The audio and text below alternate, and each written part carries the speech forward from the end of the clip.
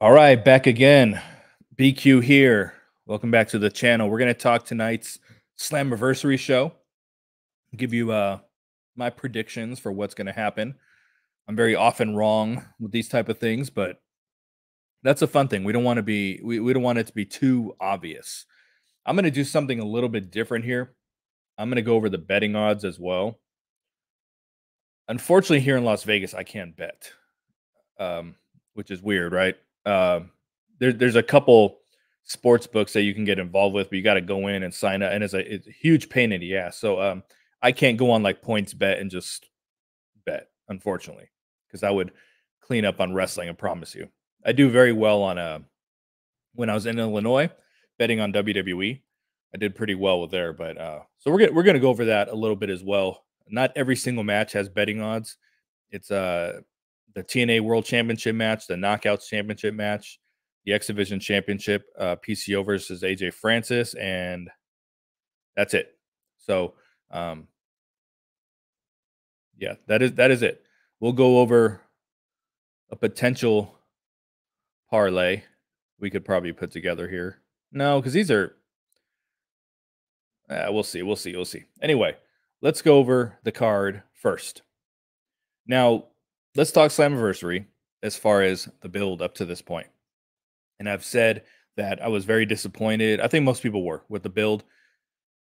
They had a very good go home show where a lot happened, but you know, I you guys have heard me for years with the TNA Plus shows going, yo, they're going too hard on TNA Plus. They're defending every single title when it's not necessary. And the couple TNA Plus shows they've had this year, especially the one after Hard to Kill, it seemed like they put all their effort into those, into putting those cards together, and even the creative for them. And then the the pay per view rolls around, and it's like we have no energy left, and that's how the, this that's how this entire build came off. Again, they had a very good go home show. A lot happened. They did a very good job of you know eliciting emotion and and uh and, and building some heat and getting people pissed off and uh you know ready to rip their opponents heads off the fans were into it but overall the buzz for the slammiversary is the lowest i think it's been in in probably five or six years.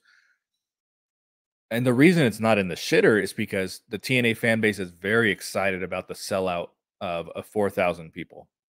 They're very excited for that. We've been you know, waiting to see a, a much larger crowd because even as good as Hard to Kill and Rebellion came off on TV, we're still talking about 1800 people, right? Is that what we're saying? 1800, maybe 2000, you know?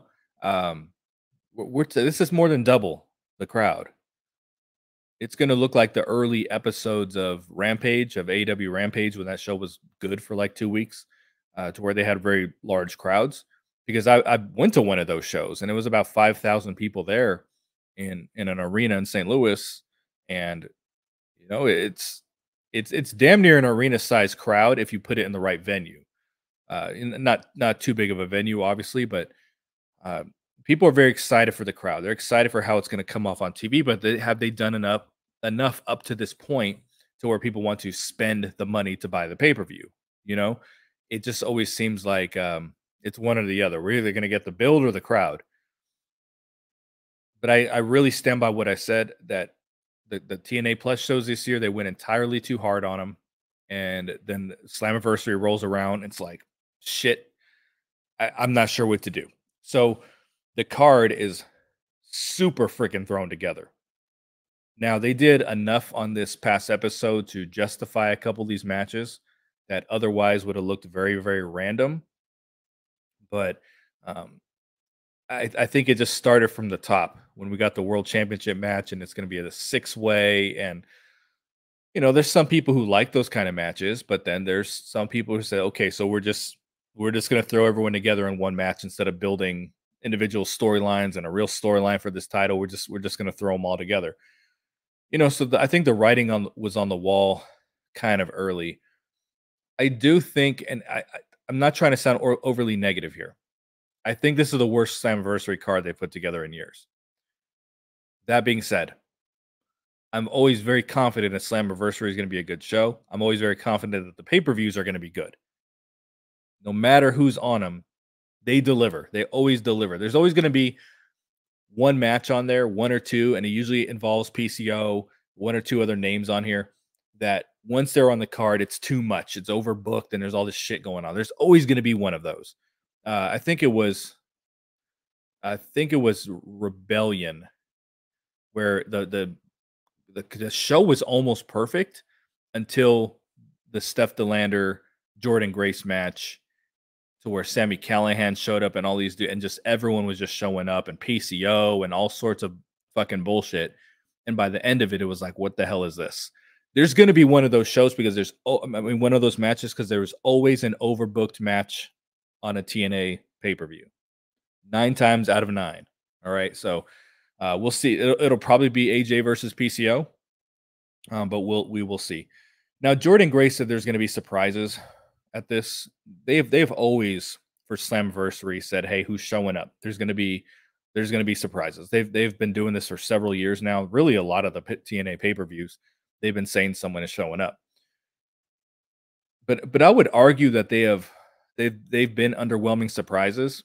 Even even the Slammiversary, where uh, they were teasing the very first one uh, uh, post pandemic, where they were teasing all these people fired from WWE and who's going to show up. You know, this is the one Eric Young ended up coming to and EC3 for his one match, and and uh, you, you guys know what I'm talking about. It was it was underwhelming. Their surprises, even though they're fun because we like surprises, have been underwhelming you know, Scott D'Amore said, okay, one of the biggest signings in TNA history. And it really got people's gears turning like, wow, well, it can't be Nick Nemeth because it's, you're, you're, he's comparing it to Kurt Angle and things like that, you know, and it end up being Nick Nemeth and he's not even signed. But I, I really would argue that majority of the surprises are a little, while fun, they're underwhelming as far as who it is. And the TNA fan base has started started retracting on these surprises because they might be someone showing it up showing up at a show like Jeff Hardy recently, but they're not signed. They're still free agents. They're still and the TNA fan base does not like that. They want people signed who are going to be around so that they can get interested in them. The you know right now the TNA business model is hey we can't afford these guys. We're going to bring them in for short term. I'm just saying the fan base doesn't like it. They've never liked it because a lot of the TNA fan base only watches TNA you know, at, at, one point when I broke off, I didn't break off, but when I started watching AEW, it's because I said, you know, I, I, kind of I desire a wrestling, a live show in front of a lot of people. You know, I, I kind of needed to scratch that itch. So I started watching it because I wasn't quite being fulfilled only watching TNA, which was a taped program in front of a small audience. You know, I wasn't quite fulfilled from a wrestling fan standpoint. Uh, I mean, AEW is so bad now that I'm I'm perfectly content just watching TNA and NWA. But I'm just saying at the time. So for a lot of wrestling fans, they can't just watch one small wrestling pro uh, company. But a lot of TNA fans do. That that is, it, it's tough to be one of those people. But because those TNA fans are those type of people, they're more invested in okay when i see someone on my screen i want them here long term. If you're someone who watches wwe mm-hmm. aew and then tna you don't really give a shit. Okay nick nemeth's around for six months or i mean i'm just throwing a name out there. This person's around for half a year. This person's around for a year. You don't really care if tna is isn't the main show you watch. But when it is it pisses you off. So i know i'm going off quite a while here, but Jordynne Grace has some really hot takes on Twitter. I don't really trust her. and I, I, say that with all due respect. Trust me, because I, I said this is the greatest, going to be the greatest knockout ever. But she has some hot takes on Twitter.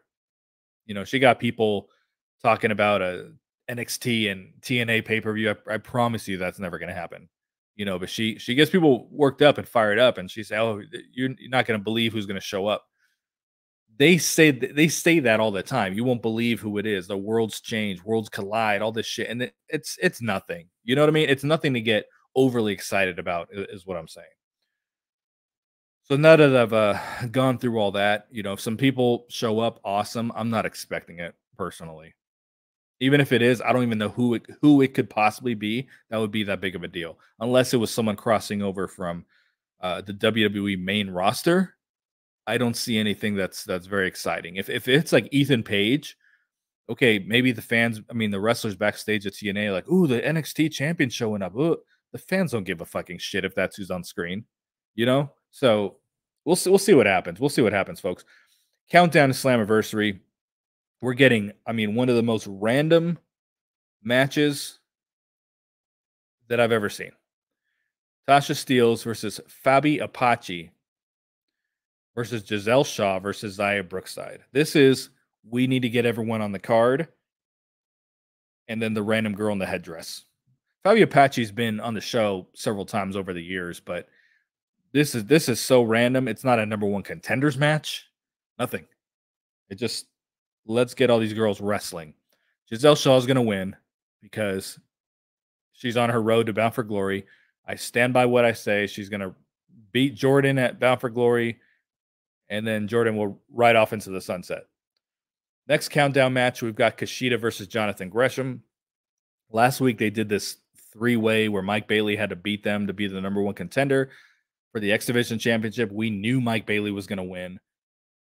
This was just a way to kind of further Kushida, who's searching for the cure, and Jonathan Gresham. So, uh, had this been done right, this probably could have been on the main card, but it's a countdown match and uh, will win. Slammiversary countdown continues with the Knockouts Tag Team Championship. This wasn't initially on the countdown, I don't think, but it's uh, Masha Slamovich and Alisha Edwards versus uh, Spitfire. Uh, my money is on the uh, the militia to, to retain. I initially thought that Jody Threat and Dani Luna would win because of this weird storyline they got going on. But when you release a brand new T-shirt the, a couple days before Slammiversary, I, I think it's safe to say that uh, Masha and Alisha win. Did I say we have betting odds on this match? Tag, TNA tag? Uh, no, we do not for that. Okay, let's get back to the card. Uh, Matt Hardy taking on Johnny Dango Curtis. This probably should have been on the pre. There's a couple matches that should have been on the pre-show here, but it's whatever. Uh,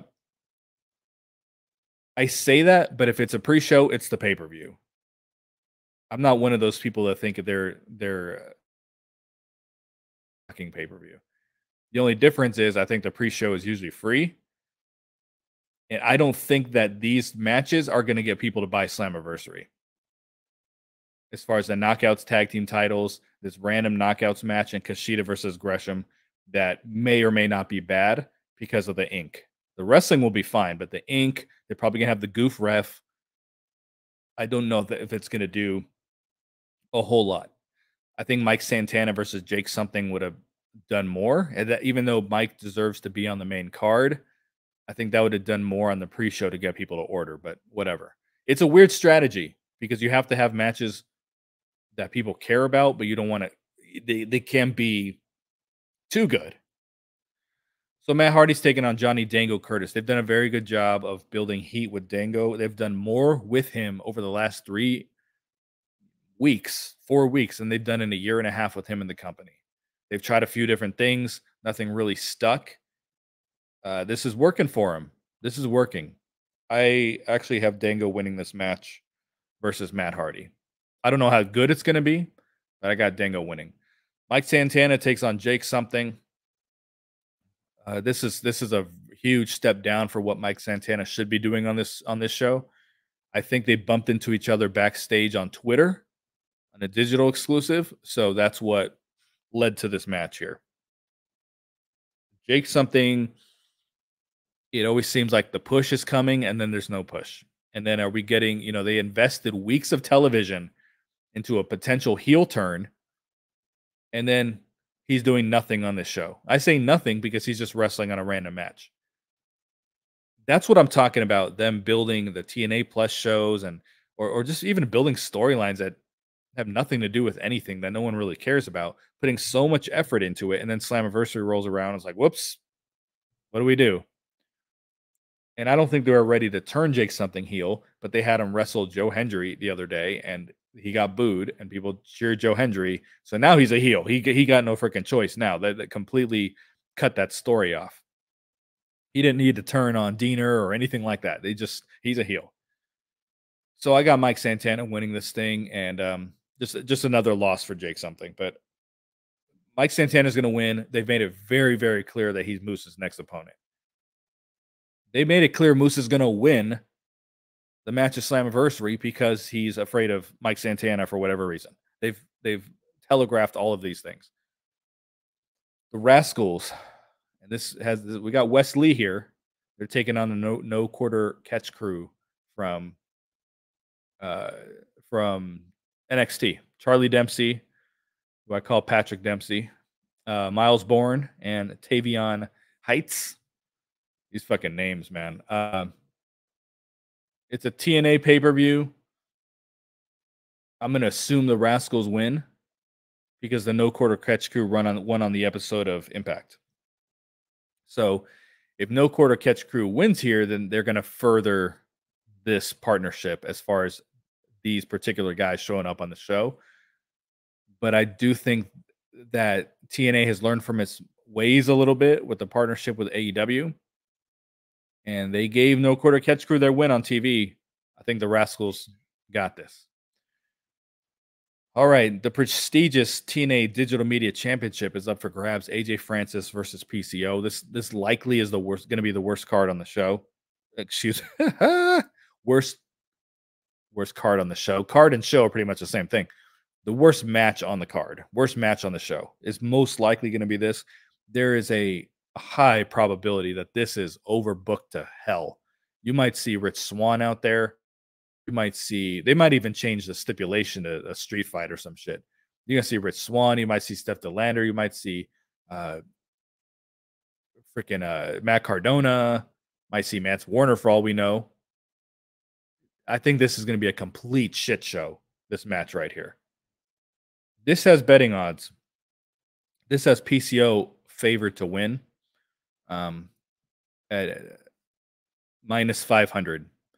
So when it says minus 500, that means uh, if you bet $500, you can win a 100. So um, they got PCO at, at minus 500, AJ Francis at, at plus 300. What the plus means is that if you bet $100, you'll win $300. so follow me here, okay? So PCO minus 500. That means you have to bet 500 to win 100 because he's favored. AJ Francis is the underdog at plus 300. That means if you bet 100, you win 300. If you bet 10, you win 30. So it has uh, PCO pretty favorably, pretty heavily favored to win. Uh a, negative a minus 500 odds. Um if it's if it's like minus 250 minus 300 type of thing that is more that's a little more even. Like we're not totally sure who's going to win here but but minus 500 is pretty they they feel PCO is going to win this is the this is the match here that I would bet the underdog on AJ Francis I know that they're in Canada and they got to appease the people. But can you imagine PCO as the digital media champion? When AJ Francis seems like he can do a lot with that belt. And he's doing a lot, you know, and he has it, but he does have this other belt. Could that be recognized as a legit mid card title here in TNA at some point? I don't know. I personally, if I had to make a, a bet here, I, I would probably bet the underdog AJ Francis. That just that's just me. Then we have Brian Myers and Eddie Edwards versus Ace Austin and Chris Bey. This is to me a very underwhelming tag team championship match because we've already seen it. I I'm all for rematches uh, for dragging a rematch out instead of giving it to us the next night. But this should have done this should have been on TV this is the problem they ran into being in Canada because if this was the system versus uh, the Hardys, get out of here. If it was the system versus the Nemeth brothers or the Hardys, I think this would have been huge. I still would have had the Nemeth brothers here personally. They gave us that match already. And I know that Ryan Nemeth isn't very good, but this would have been a much bigger deal, I think, if, if that was the match. Ace Austin and Chris Bey are, have barely been on TV. They had this weird angle where they were possibly splitting up. I think they might have retracted on that. I don't really know, but um, I just I think there's zero buzz behind this match. I am going to go with uh, the system retaining, though. I think it would be extremely bland if the ABC were to win. This might be what breaks the ABC up, but I think it would be very, very bland of them to win. Oh, eh, you know, and and to go back to the uh, AJ Francis match, I also mentioned that I think they're looking at a new member of uh, First Class, and I and I know who it is that they're looking at. So that's another person who can get involved here. So I don't know. There's so many possibilities. Steph De Lander might screw PCO. I don't know. Anyway, let's go back to what I was just saying. The uh, tag team championship match. Uh, yeah, I'm, I'm going to go with the system. Do we got betting odds on them? Actually, no. Okay. These these bet these bets, by the way, are bet are um, bet online. So if you're trying to to bet on uh, it is on Bet Online. I'm actually surprised I don't have betting odds on that. Maybe they don't even care. Vegas does not even care about this match. All right, TNA X Division champion Mustafa Ali versus Mike Bailey. I'm going to go to the betting odds first before I make a prediction here. They got so they got Mike Bailey at minus 300 and Mustafa Ali at plus 200. That's pretty even. It's is it's as close as you can get to being even without actually being even. So they think Mike Bailey is going to win. Um, I'm going to go with Mike Bailey because I don't think PCO is going to win, and I don't think the the way that they pr- uh, promoted this show, I don't think they're going to have both of the uh, the local guys lose. So I think Mike Bailey's going to win. Mustafa Ali's an excellent X Division champion. Excellent. Does he need the title for this gimmick? I don't know. Can he? Is he going to be done after this? I hope not, because he is the most entertaining part about the show. He can continue this gimmick on for the next two years, and he he throws so many constant wrinkles and changes into it. That's why I used Steve Maclin as an example. Is I wish he would have had a security detail when he was a champion. I think adding that and then having campaign saying there's just so many directions it can continue to go. Now that being said, maybe they say, okay, he's really elevated the X Division Championship, which he has. The X Division, the, the, the, the division is no good. If you look at the actual division, no contenders in there. It's only Bailey and Ali. So that's why Ali works, but who's he going to fight after this if, if there's no Mike Bailey? So I, I think it's going to be Mike Bailey, and I think they're going to have a rematch. And then either Ali will be done or they're going to try to elevate him up the card a little bit. Can you imagine an, uh, a storyline with Mustafa Ali and Josh Alexander? That's why I was saying find something interesting for Josh Alexander to do. Like this would bring out personality and, and you know, out of Josh. And Ali is just everything he's touching is gold. So get Josh Alexander involved with this dude. The match would be incredible, but there's so much personality involved with Mustafa Ali, and it's the the line storylines are so creative, and there's just, I mean, shit. I just think you take someone, Josh Alexander, supposed to be your top guy, but he's kind of bland, and you throw him in with Ali, and you can have some like real magic there that you can really build to something extremely special. So we'll see what they do.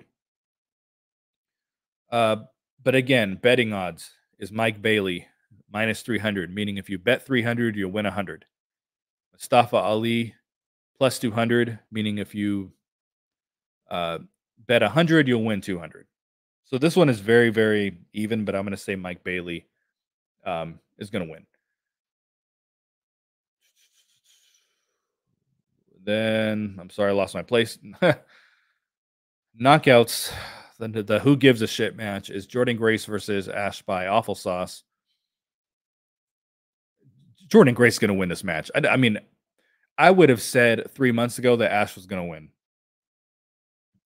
but because on paper Ash is very athletic, like she should have the gifts, but it's not clicking. It's not there. And as I've I've said many times over over the last couple weeks, maybe longer than that, I think this is Ash's last match in the company. I don't know if she's signed. I really have no idea. I have to preface with that. I have no clue if she is signed long term. I don't have a clue in hell. I just see the writing on the wall that this has been very bad. And they were building towards this match, but I, I just wouldn't be shocked if TNA didn't cut bait after this. They're kind of almost acting like Rosemary might write off the personal concierge on screen. You know, he might she might chase him out of the arena and we don't we never see him again. But I, I would be so shocked if Ash won this match. Let's go to the betting odds. They've got Jordynne Grace at minus 2,000. This is so that minus 2,000 means you bet $2,000 on this to win 100 bucks. That is how confident Vegas is that jordan Grace is going to win. By elegance is plus 700, meaning if you bet 100, you'll win 700. So if you if you want to take a real chance, you bet 100 bucks on Ash by elegance, or you bet 10 bucks and win 70. I don't think Ash is going to win. I think at this point she's proven she'd be a pretty poor champion. I don't think the gimmick has worked. I was all for it when it happened. I wanted to see it grow. And I think that they made the the burn so slow because they clearly wanted to say, hey, let's let's build this thing out to Slammiversary, that it just fizzled out. And I stand by what I said. They had a couple opportunities for Ash to knock Jordynne Grace out cold. Ash should have put Jordynne Grace in the fucking hospital.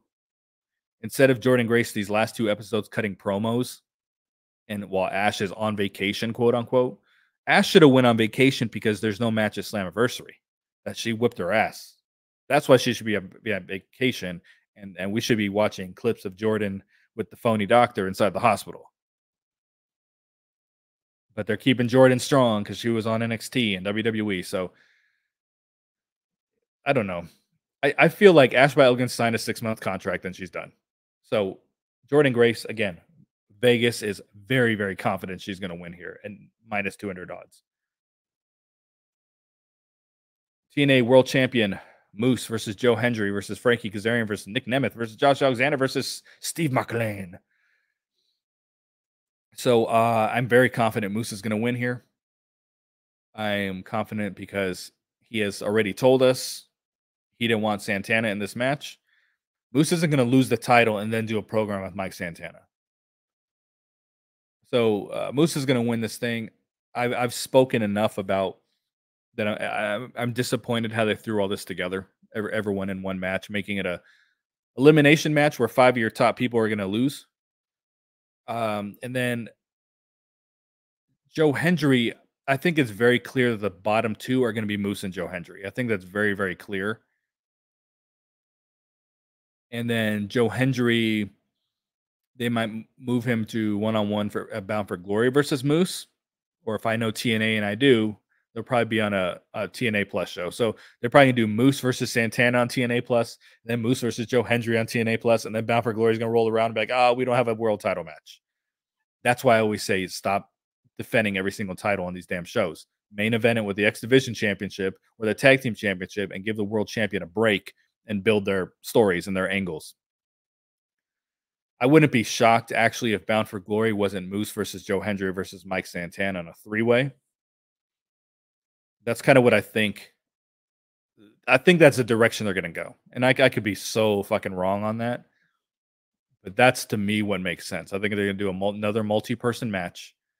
And it's going to be those three. Hendry might win there.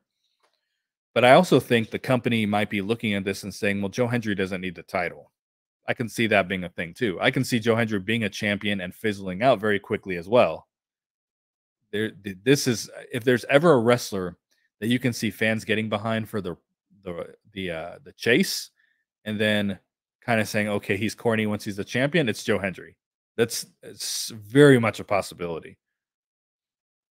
So I got I definitely have Moose winning this thing. Betting odds also likes Moose at minus 1000, which is also a lot. That's uh, Jordynne Grace is is is the one that Vegas is very confident in. Moose is second. So minus 100 uh, 1000 means you need to bet $1000 to make 100. Joe Hendry is next at pl- plus 500 odds, meaning bet 100 to get 500.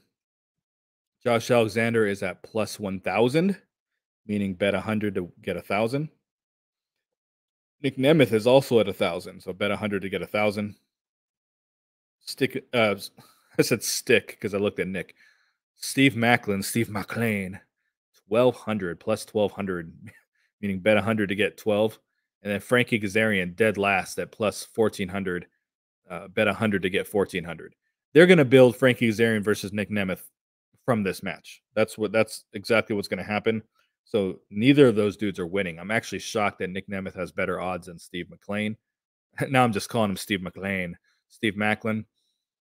Um, they've been teasing if you haven't paid attention,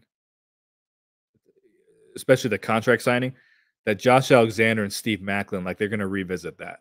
They've been they've been looking at each other. So I think they're going to break off and try to give us another Maclin versus Josh Alexander angle. Where I said I think the money is in Josh Alexander and Mustafa Ali. I think they could find something to really, uh, really charge up Josh Alexander's character if they did that. Revisiting something with Steve Maclin, I'm not so sure. With Maclin, they're always teasing. He's going baby face, whatever. I don't know what the hell they're doing with him but they're they're definitely um, Moose and Joe Hendry are gonna be a, the bottom two in this match. I don't even know. We're just gonna watch a long match for those two to be there in the end, and Joe Hendry likely to get screwed in the end. I would be. I mean, it would make sense that Joe Hendry takes the world title on NXT, but he's feuding with jobbers on NXT right now. All right, I think it's called they're called Don Callis or something. Their team. He's feuding with jobbers. So don't even don't even trip on that, folks. Moose is going to be your guy. So th- that's it for me, guys. That's what happened with Slammiversary. I'm not my fingers are not crossed about some some major uh debut or surprise. I mean, I'm sure we're going to see one or two people, but you know, Jordynne Grace getting on there. Oh, there's going to be more people than you expect, or bigger surprises than you expect. I don't know who could be. Again, uh, if it's not someone from the WWE main roster, there's no one on the NXT roster that the, the fans would lose their minds over. Now, if Jordynne Grace is the one saying it, then it if if it's anybody, it's probably a chick. And the only chick that makes sense is if Roxanne Perez shows up again and says, "Okay, now I want to wrestle you for your title at Bound for Glory." If that happens, that's a big deal, and that throws a wrench in what some people think Jordynne uh, Grace's career trajectory is in TNA, how long she is sticking around, or when maybe she's leaving, or whatever, you know. So th- that's going to be very telling. But if Jordynne Grace is the one hyping this thing up, it probably has to do with the chicks. Uh, the other one that would be fun, even though it wouldn't make a lot of buzz, is if uh, Ariana Grace showed up, which is Santino's daughter. If she was involved, that would be very cool uh, because you can actually get Santino involved in a storyline and maybe more of a he, more of a serious character for him. Maybe he turns heel a little bit. I'm totally fantasy booking here. Uh, usually, when you fantasy book, those those things don't happen. But I'm just saying the possibilities are there to do something like that. And um, yeah, Ariana Grace, she's uh, for me like top five wrestling females I've met in my life that are better looking in person than on screen. Like she's she's top five, maybe top three. Um, but I do think that that is kind of my prediction is that it'll be a chick. If Jordynne Grace is talking about it, it'll be a chick. So, but there's, you know, I don't know. I don't know. I don't know. I don't know. That's to do it for my Slammiversary preview, folks. I'll be reviewing Slammiversary after the show. I'm out. Peace.